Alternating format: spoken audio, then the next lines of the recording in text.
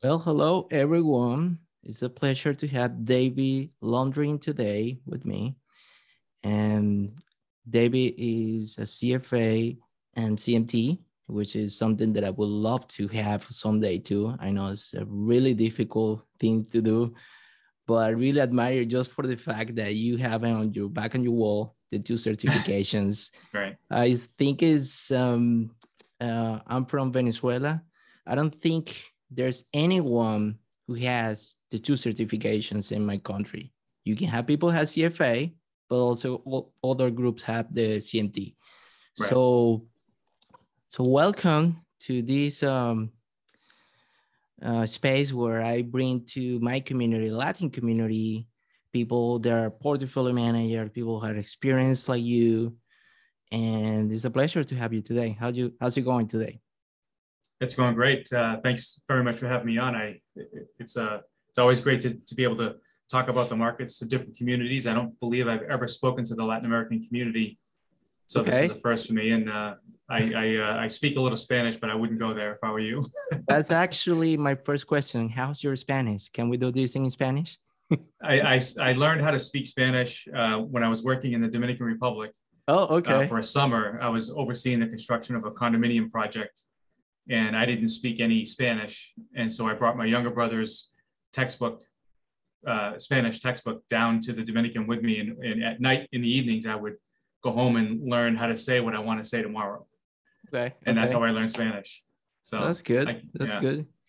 So tell us more about yourself. So how are you starting on this business? I know it's kind of your background is very interesting, but people that still don't know you, you can summarize you your background a little bit. Yeah, yeah, sure. So I, have I've been in the investment business for about 30 years. My entire career, I've been uh, focused on charts, so technical analysis. Um, as you said, I did get my CFA, so I have a very strong passion for fundamental analysis. I just don't do it myself. I let the market do it for me, uh, which we can talk about. Um, and you know, I've, I've held positions most recently up up until most recently. I was the director of technical research at Wellington Management in Boston, which is a large uh, privately held money management firm. Um, and I was also uh, a portfolio manager there. And prior to that, I had a couple of uh, research firms that I started myself and the, the latter of, of those uh, companies was called Breakaway Research, and that's how I ended up getting to Wellington because they were one of my clients. And then prior to that, I was I was a, a technical analyst at Fidelity in the in the Fidelity chart room. And uh, so it's been a, a it's been a, a, great career. I've had the opportunity to work with some of truly, and I mean this when I say it, some of the best money managers in the business.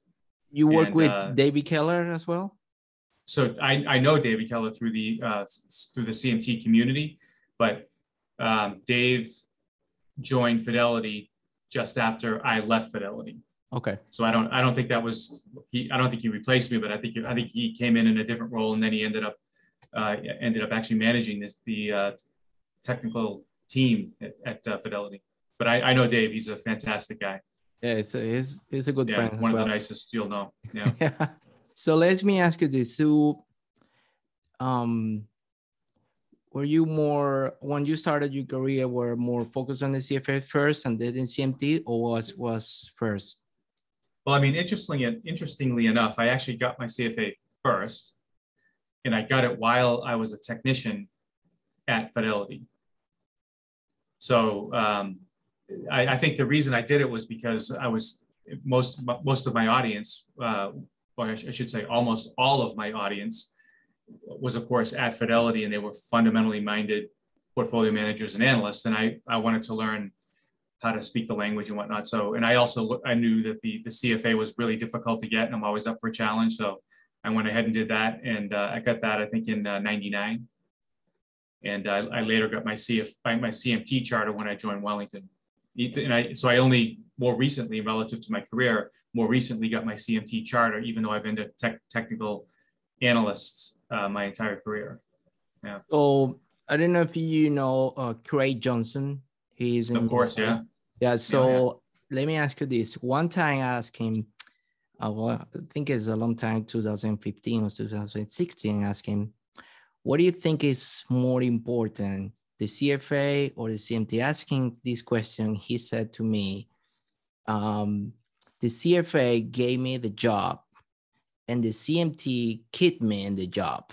So, well, what is your story behind? What do you think? Well, you know, that's so it's so funny you you preface that question the way you did because uh, I was going to answer the question with exactly what you just said and give, as I always do, because I love that saying, but I always give credit to Craig for saying that. But but I think uh, that's an important point that the CFA has a, has a lot of um, credibility in the community. In fact, I, I, I just gave a presentation to um, the uh, to students at Babson College here in Wellesley, Massachusetts, which is where I went to school.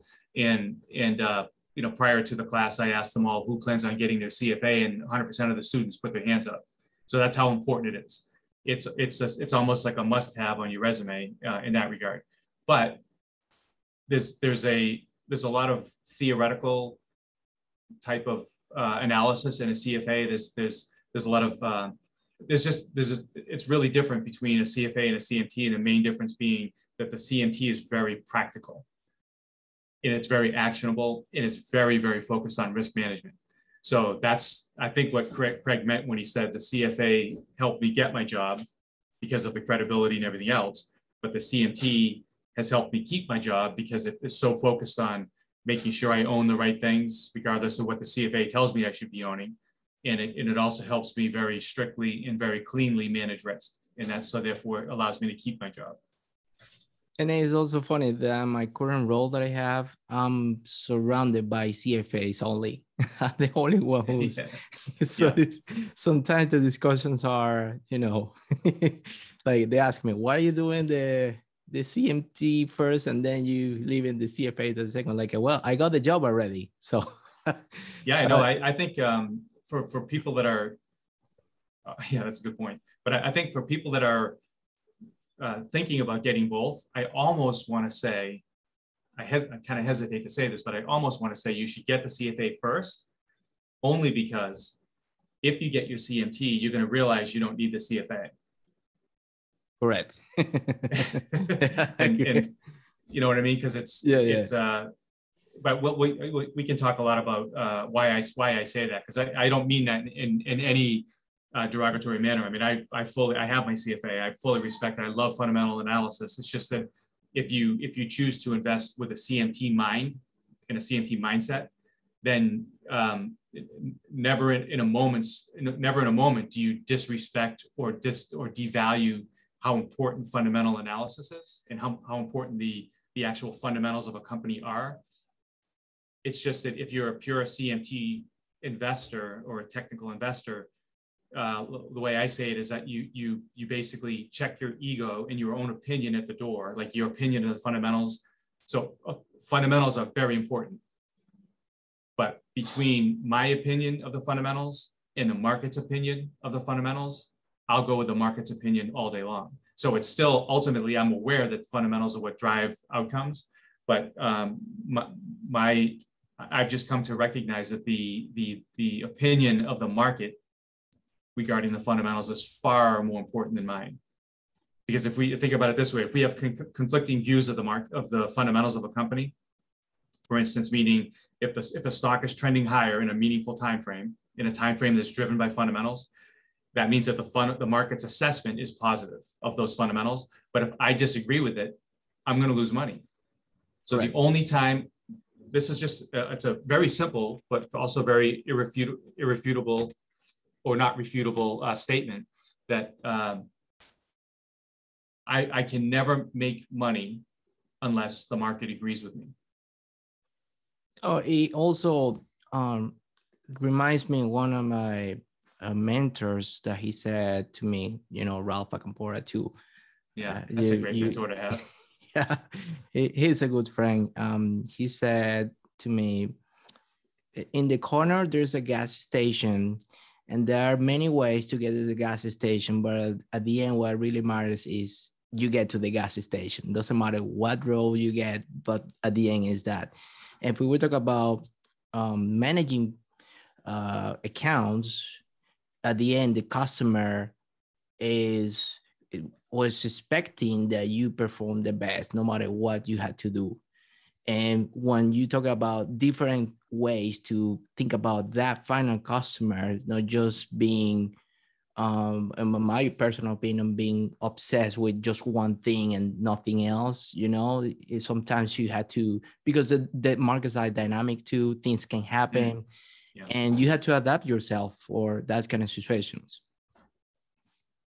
100%. But I, I think I think that's a, a very important point. But that's for that very reason. That's why I, I value uh, technical analysis, and it's why I've chosen to be a technician. I, I like I said, I've, I've I'm as passionate about fundamentals as I am about technicals. It's just that at the end of the day, um, I chose the, the technical route for very specific reasons. And one of the reasons is that um, the, the, the, value of technical analysis and trend following in particular is it tells you when you have to change your mind. It tells you when things are changing, whether you can see it or not in the fundamentals. And it happens all the time where, where a company's fundamental conditions uh, begin to erode and um, in, in analysts aren't picking up on it yet, but the market is. And so, you know, at the end of the day, what what, uh, what happened last year, we had we had uh, what I would consider to be, and maybe in, in hindsight, we will come to call a, a, growth bubble, where we had a very large percentage of the S&P 500 had a price to sales ratio that was above 20, which and it, and it went to a, a degree that was far higher than the 99 bubble. So it was a, a bubble of epic proportions. Um, excuse the siren. I don't know if you can hear that. Oh, no problem. yeah. Um, sounds like I'm in New York City, but I'm actually in a, in a nice little harbor in Marblehead.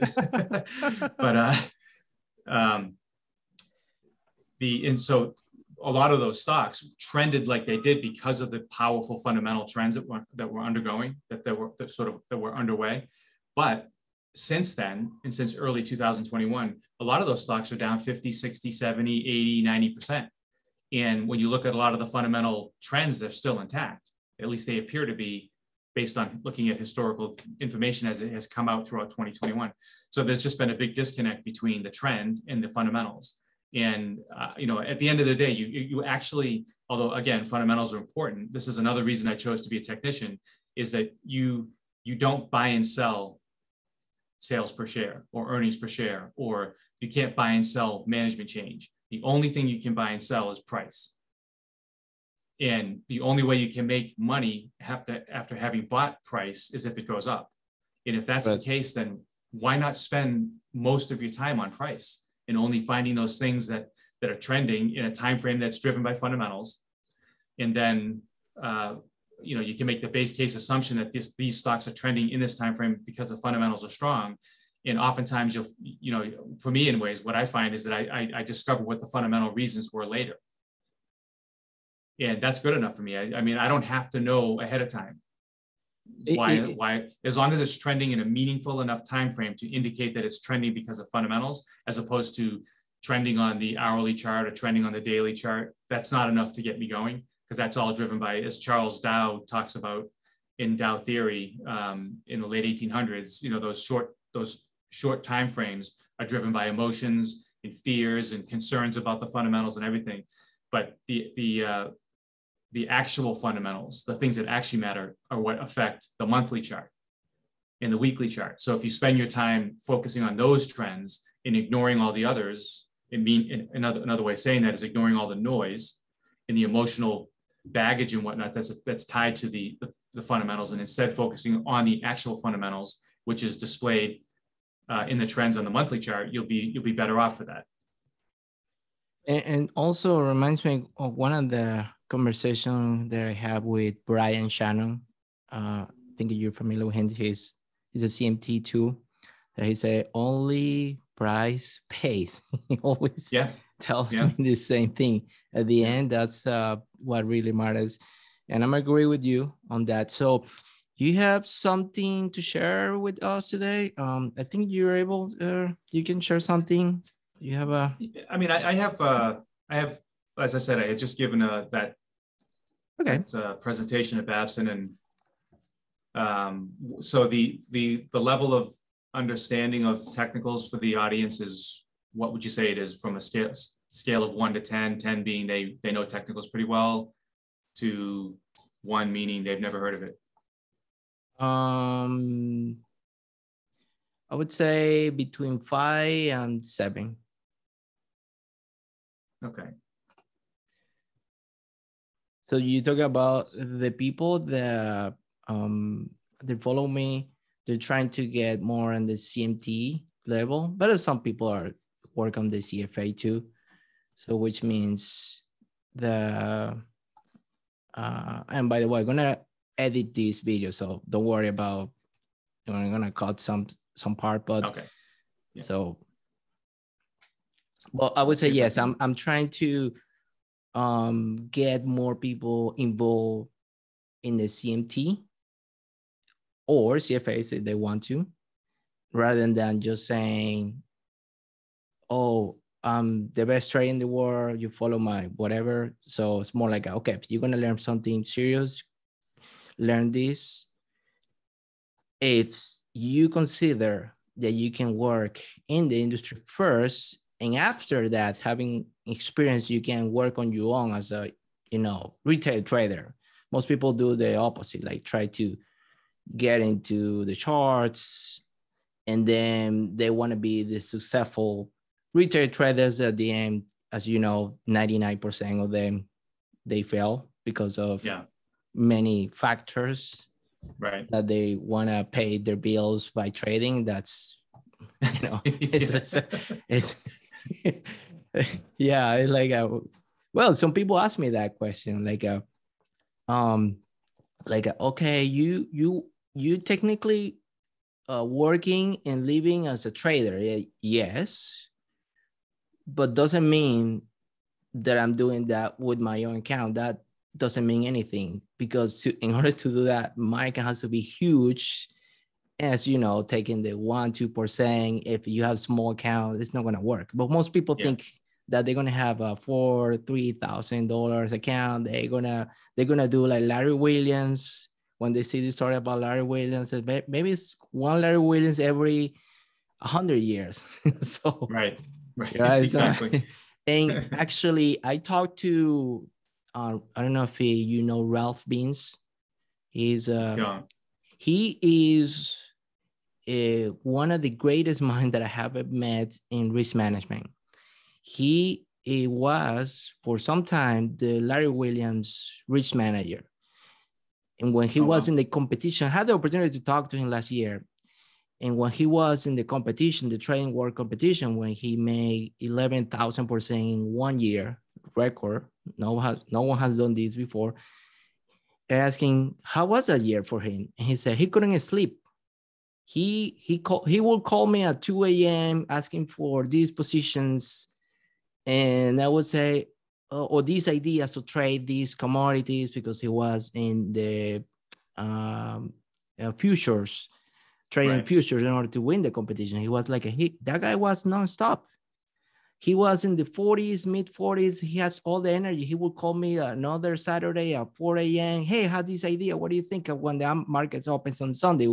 Should we do this or not? So things like that. It was crazy. He said he will never repeat that again. And of course, for the tax purpose too, because making that money, how much tax yeah. you have to pay is crazy. He said, no, yeah. I don't want to do yeah. that anymore. Well, I mean, at the end of the day, the bigger the tax bill, the happier you should be, right? I mean, if it's the same tax rate, once you get to a certain level, and, and I have to spend a million dollars in taxes versus $10 million in taxes, I'd pay $10 million in taxes all day long because that implies a much, much larger gain, right? Yeah, correct. So sign me up. the bigger the tax bill, the better. Yeah. All right. Yeah. Okay. So, I mean, I, I, we can take this in all kinds of directions, but uh, I, I'll just, um, I think it's important to talk about the uh, the value of okay. technical analysis. And okay. so I'm going to try to I'm going to try to share the screen here. Yeah, I, I saw your screen. Yep. Okay.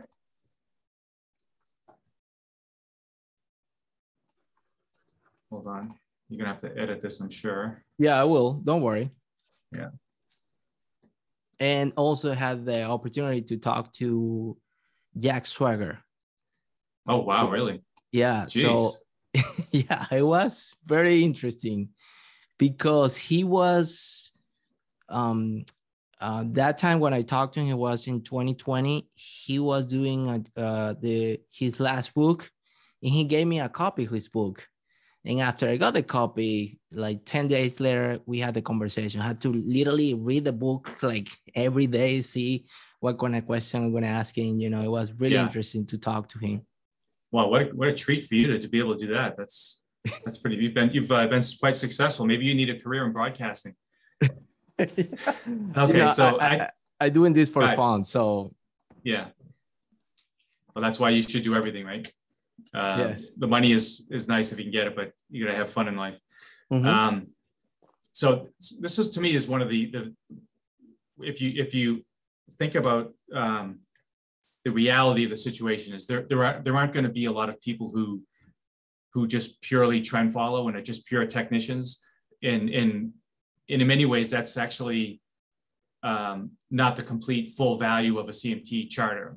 Um, where where we find uh, we, where we see people get great value from a CMT is to incorporate it into their process to help so to help you know in many ways it's to help uh, search for ideas. Technical analysis is great for being able to screen the market looking for ideas um, making sure that you own the right stocks assessing the overall environment. Are we in a bull market or a bear market? Because that obviously changes how you should behave from a risk management perspective et cetera.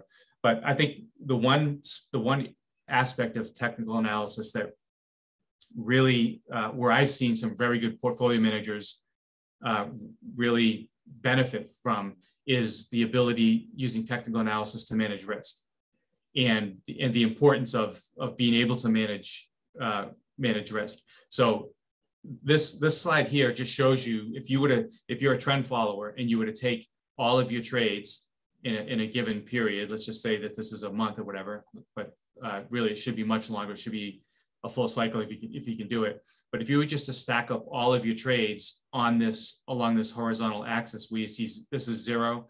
Everything to the left is a loss. Everything to the right is a win. The, the, the benefit of technical analysis is you know when you're wrong.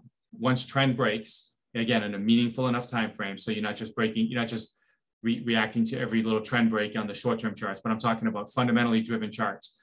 Um, once the trend breaks, you you make the base case assumption that it's because the market's telling you something about the fundamentals, and so you act on that and you cut your losses short. And so that's the whole premise of what David Ricardo said in the 19th century: uh, cut your losses short and let your profits run. That's a that's a that's a statement that goes back to the 1800s, and it's a process that and it's a it's a philosophy that's been uh, adhered to to by anybody who's ever managed money successfully, whether they know it or not. Is is the idea that you um, you have to cut your losses short and, and let your profits run. And so as a technician, because you're constantly cutting your losses short, and because you're a trend follower without without trying to uh, trying to determine ahead of time. This is just pure trend following. There's a lot of technicians that do it differently, but I'm talking pure trend following, where you get into a trend and you don't make any forecast as to when it's going to end. And the reason you do that is so you, you can get these right, what's called right tail events, or these outliers on the right side of this diagram. And so that this statement, cut your losses short and let your profits run, comes alive when you look at it this way. This is what a trend following uh, return uh, distribution looks like. Lots of lots of uh, losses, small losses. Some, uh, I might even say lots of uh, medium-sized gains, but then some huge wins. In the in the in the end, most trend followers, particularly over a full cycle, like last year or the year before, if you were trend following, you just you couldn't do anything wrong because no matter what you did, the stock went up, right? I mean, it was unbelievable. I think my hit rate in that year was in, in the 80s, 80% range. Um, that's not normal, right? What's more normal is that through a full cycle, like last year, my hit rate was 40%. So I've had a, I didn't have a great year last year. So through a full cycle, if you can, Uh, what, what I mean by a full cycle is a bull market and a bear market, get those two things together. Okay. If you're as a trend follower, can finish that cycle with a with a with a 40% hit rate, meaning that 40% of the time you're right, that sounds terrible. And the diagram shows it here that you have a lot more losses than you have wins. But the reality is the combination of being able to cut your losses short vis-a-vis technical analysis when the trend breaks, but then also sticking with trends as long as possible until the trend actually reverses, that'll, expose you to those right tail events in those, uh, those situations where you can let your profits run. That math comes together to create what's called positive expectancy. So if you have, in this example, 40% winners and you have a $100 gain on average when, when you win, and you subtract from that 60% losers, and on average you lose $33 when you lose, that's simple math. that comes out to $20.20 as a positive expectancy. Assuming that that's a, uh, a, full cycle and you have confidence in the, in the strategy and whatnot, um, that's a strategy you should just keep doing because it works. If you, if you conduct this analysis, which I highly recommend everybody does this, who's, who's thinking about investing, that you that you pay attention to how much what your hit rate is and how much you lose when you when you lose and how much you win when you win when you win and do that math all the time because if you do if you do that and you come up with a negative number you uh, you should stop immediately stop doing what you're doing because it's a it's a strategy that's going to lose you money right so the, and, and what's important about this is that that expectancy formula no matter who you are no matter what style of investing you choose to uh, un- undertake trend following, growth investing, value, macro, quant, high frequency trading. It does not matter who you are. Everybody has to go through this gauntlet. Warren Buffett has to go through this formula. I'm sure he's aware that he is, but a lot of people are not aware of the fact that you have to go through this formula. Nobody can escape this formula. At the end of the day, you're going to have wins, winners, you're going to have losers, you're going to have a hit rate. And, and you lost money because your, your expectancy was negative. You made money because your expectancy was positive. And so the idea is to is to track this throughout the course of time. And you know, an, an important point to think about is, as you can see down here in the right-hand corner, after you buy a stock or wh- whatever it is, cryptocurrency, uh, oil, gold, currency, doesn't matter what it is. After you buy something, there's only four things that can happen. It can either go, you can either have a small win, you can have a small loss, or you can have a huge win, or you can have a huge loss. Those are the four possible outcomes that you can have as an, as an investor. And you'll notice that on the diagram on the left, one of those four things is eliminated, right? There are no huge losses. And so that's the essence of trend following is to expose yourself to those three other buckets, be patient. Occasionally you'll get one of those huge wins that pays for everything else on the left side of this of the, the return diagram. And importantly, avoid those huge losses. And you know, I've, I've worked with uh, a lot of very successful fund managers that are obviously pr- primarily fundamentally oriented. Uh, and I, I've never seen one who's, who's had a as clean a risk management process as what I just detailed in terms of technical analysis, being able to understand that trend is broken in a, in a fundamentally driven time frame, time to get out. But what I have seen is I have seen some very good uh, fundamental managers become great portfolio managers when they started to incorporate strategies that help them to avoid things in the bottom right hand corner here using technical analysis, whether it be momentum ranking, trend following, relative performance, however you want to uh, you know get to that get to that end game. The point is it's critical to avoid huge losses. No, it also um, I mean also reminds me of the topic that you don't have to have the perfect strategy. All the strategies always are gonna fail at some point. But the the important is this strategy, even though the winning rate is less than 50%, still you can make money based on that principle, right? Yeah, there's no question. And there's a, there's a formula there that shows that 40%. And, I, and I've seen trend followers down at 30% still make money. But wow. um, you know, you have to be super disciplined to make sure that you let those um, right tail events unfold. So um, you know, this is uh, this is the what it looks like when you do practice risk management. And I, this is another slide that I, I, I like to, to show, you know, what happens if you don't practice risk management. And so if you start over here on, on this, uh, on the left-hand side, you can see you, you start with a portfolio value of $100 and through the course of the, of the year, you don't manage any of your risk. It's a bear market. It's you know the global financial crisis or whatever, and you lose 50%. So now you're down at $50. in, in order for you to get back to break even, your portfolio now has to go up 100%. And wow. speak to anybody in this business, the concept of doubling a portfolio, it's not impossible, obviously, but it takes time and it takes a strategy. It's not easy to do, but that's basically by not by not um, deploying risk management in your process. That's what you've set yourself up for, having to start from such a big hole, right? And then the other the other thing to to, to think about is this fallacy if it can't go much lower, and you say, you know, the the, the stock I've I've uh, ridden it down ninety percent. Um, it, it can only you know what is it going to go down another five percent? Just be you know realize that going from down ninety to down ninety five from that moment is another fifty percent. So no matter where you get in, if you're a value manager trying to buy on the way down and you think it's really cheap and it's already down 70%, we have a lot of those stocks in the market today. Um, you know, down 70% is fine, but from there, it can still go to zero. It can still go down 100%. And so technicians, rather than trying to pick the bottom like that, what we prefer to do is wait for the, the, the actual trend to turn to indicate that the, the, the market agrees with us on the fundamentals. That's what I was talking about earlier about waiting for the market to tell you when to get in vis-a-vis trend inflection. And the, the main thing is, is that the, the, the disastrous effect that not managing your risk can have on your portfolio. So if you look up here uh, on the top box here, this, this is a hypothetical portfolio. Um, and, it's you know year one through 10 and these are the returns year by year it just kind of alternates again it's hypothetical but it alternates between 20 and 30 percent at the end of that 10 year period, it's a compound return of, of uh, 23%.